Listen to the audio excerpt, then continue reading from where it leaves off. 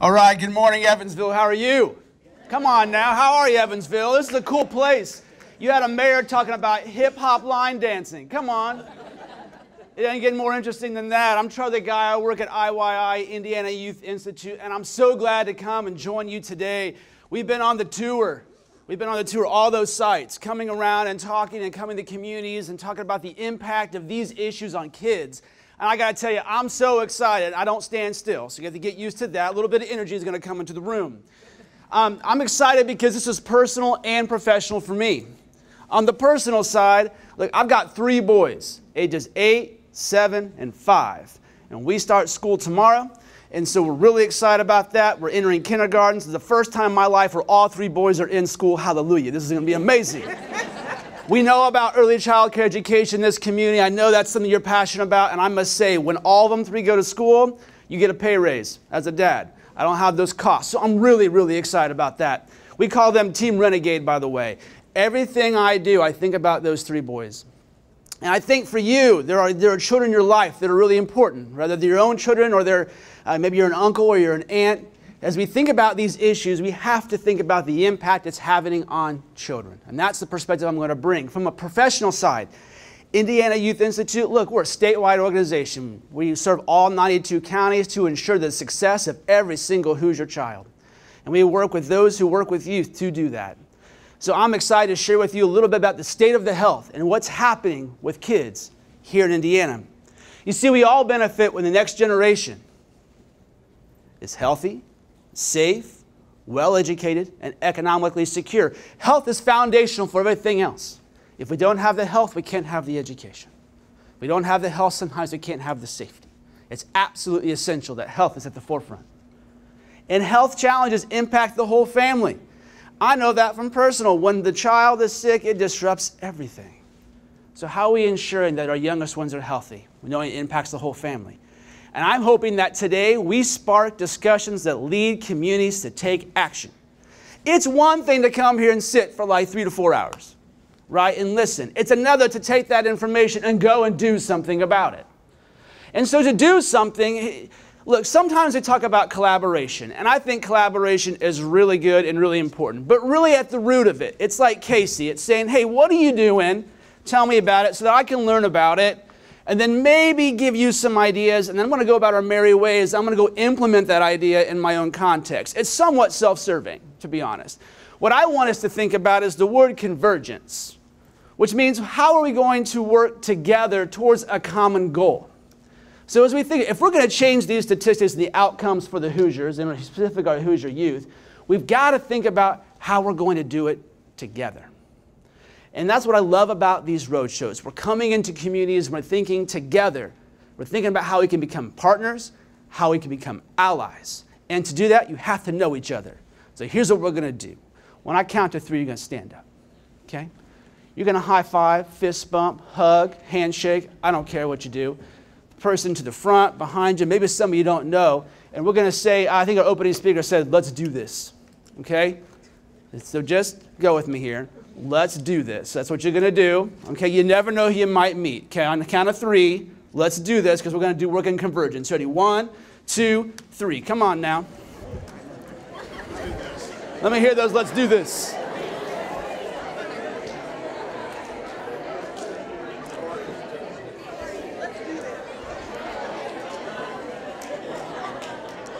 I like the virtual high fives from the distance. From the distance.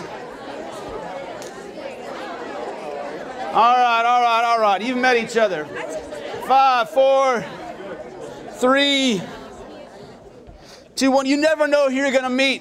One time I did an activity similar to this. I met somebody brand new and it turned into like a 25,000 research grant. So you never know. You never know what's going to happen, okay? You got to work together, you got to work in convergence. So that's our framing. So now let's talk about kids. Here in Indiana, about 1.5 million kids. That's been pretty stagnant for the past couple years. We're right around that amount. 34% of our children live in single parent families. One in three. Wow. It's also important to realize that 20, nearly 27% of children are a race or ethnicity other than white. We're becoming more diverse as a state, and it's really important that we realize that. Not only are our children becoming more diverse, as you see here, 10% speak a language other than English at home. In our public schools, we have over 250 languages that are spoken. And we have around 12% of children that come from immigrant families. We're becoming more diverse, but so are our family structures. Not only do we have one in three living in single parent homes, around 18% of children are living in a home with an individual as the householder that's not their biological parent. So it could be a foster parent, it could be a grandparent, things like that. And that continues to increase. Our family structures and our children are becoming more diverse. It's important for us to keep that in mind and in context. So let's talk about nationally how do we stack up? So we know our statistics here. How does this impact kids? In Indiana, we've been, our overall well being of children has been right at 28. We've been there for the past couple years, right there in the middle of the pack. For families and communities, we're 32nd. Economy, we're 24th. Education is our highest overall domain ranking at 14th. And you see health at 31st. So, health and families and communities are both our lowest rankings, and below, sort of the middle. Now, let's dive a little deeper into some other rankings I think are kind of interesting. If you look over here on our left, our highest five, you see a lot of things related to education and economy. You see that? You see that for fourth grade reading, seventh. Okay? High housing burdens, we know Indiana is a fairly affordable place to buy a home and to live, ranked 10th. High school graduation, 13th. What's interesting about that, from 2007 to 12, we kind of saw a steady increase in graduation, then it kind of plateaued right around 90% until this past year, it dropped a little bit to 87%. So kind of interesting there about high school graduation. And you see math proficiency. Now we also know education has been at the forefront of a lot of state conversation and investment. And so what you see is the investment and you see the outcome. So we think about health, we see 49th in public health spending. We're getting the outcomes we're paying for in a lot of ways. Okay? Now if you look over here to the right, let's take a look at our lowest five. Child maltreatment, 48th out of 50. So, what does that mean? That's neglect, that's physical abuse, and that's sexual abuse. We're ranked 48th out of 50 states in that space. For mortality, 42nd, child and teen deaths, 33rd, child poverty, 31st. What's interesting about child poverty, one in five children live in poverty, but one in seven also live in a working poor family. So those are those families that are just right above that level to receive benefits. So if you take the one in seven and the one in five, now we're talking nearly 40% of families living in sort of an economic disadvantaged home environment. Interesting. Child maltreatment, and we'll touch on this, I think it's very, very important. Our child abuse and neglect rate has risen 52.5% over the past five years. And you can see this sharp increase there. This is what really puts it in perspective for me. There's a new report every two minutes. So let's think about how long we're going to be in here today, roughly four hours or so. Think about how many new reports will be. Roughly 120. Just from the time from when we started to the time we're going to end. We've got to think about these things. Now, when we look across all areas, this is a really important statement. There are clear disproportionate challenges and barriers, and they exist for children by race, place, income, and immigrant status. So it's one thing to look at the overall statistic, but when we start to disaggregate that data, which is really important for us to do, it starts to paint somewhat of a different picture that I believe makes us more informed allows us to identify what interventions, what preventions, and where we might put them to have the biggest impact. And so I'm going to demonstrate that for you looking at the four areas that we're focused on today. And those four critical areas are impacting kids in a big way. So infant mortality, smoking, opioids, and obesity. Now it's also important to know that's not all doom and gloom.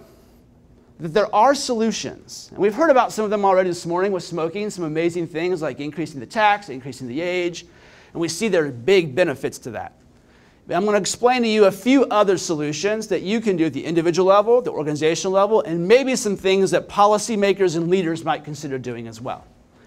So let's jump in. The well being of mothers and infants determines the, next, uh, the health of the, the next generation. Indiana babies are 24% more likely to, die before their first birthday than infants nationally. But when we break this out by race, it starts to show us something pretty interesting. You see, black infants are 2.5 times more likely to die before their first birthday than white infants.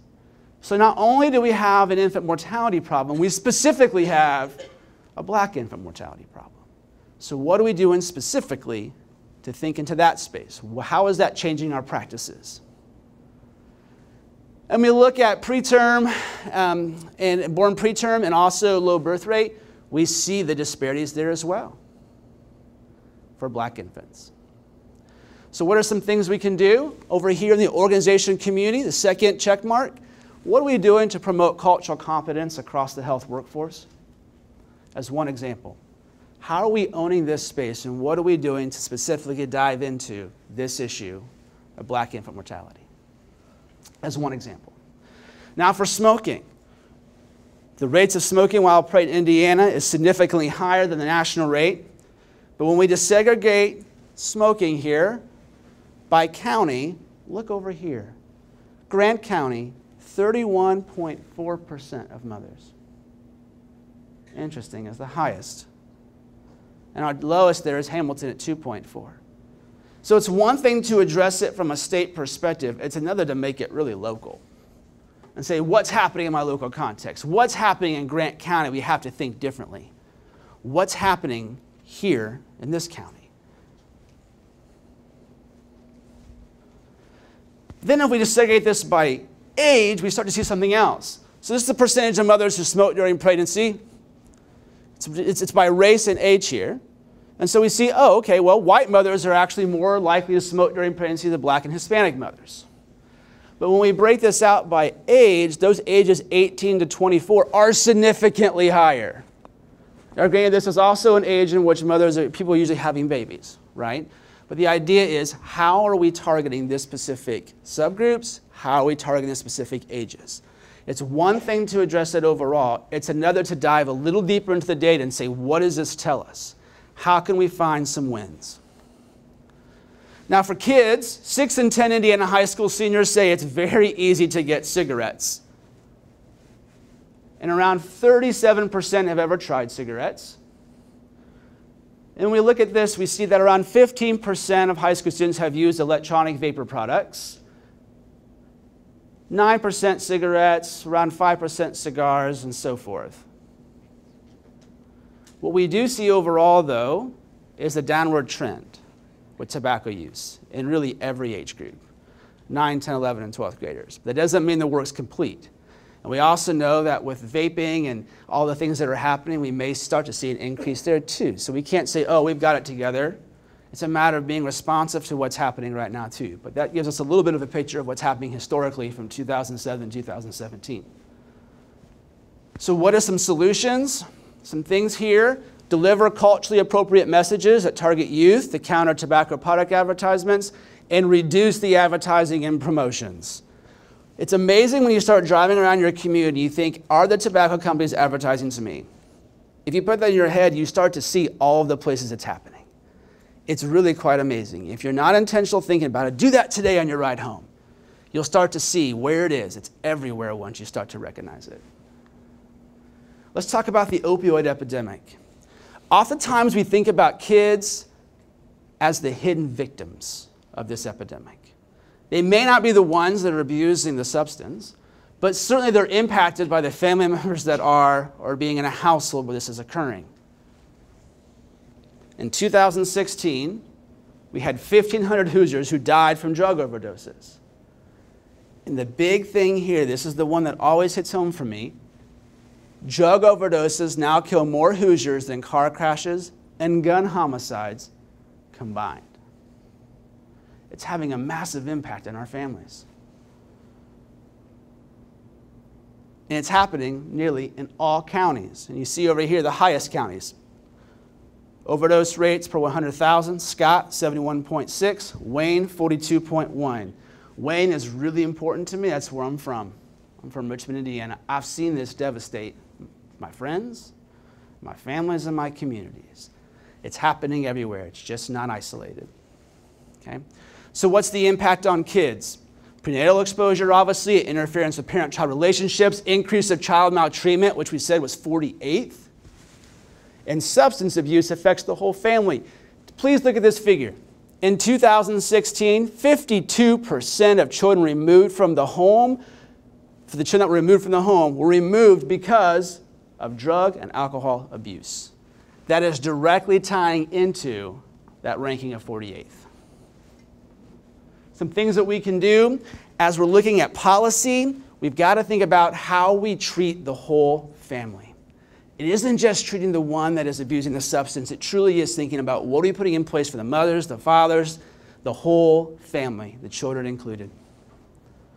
Obesity is our last area. One in three children ages 10 to 17 are obese.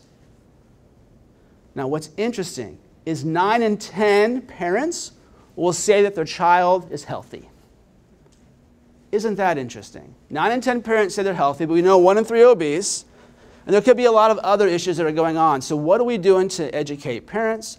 What are we doing in terms of stigma? What are we doing in terms of understanding what the true health issues are?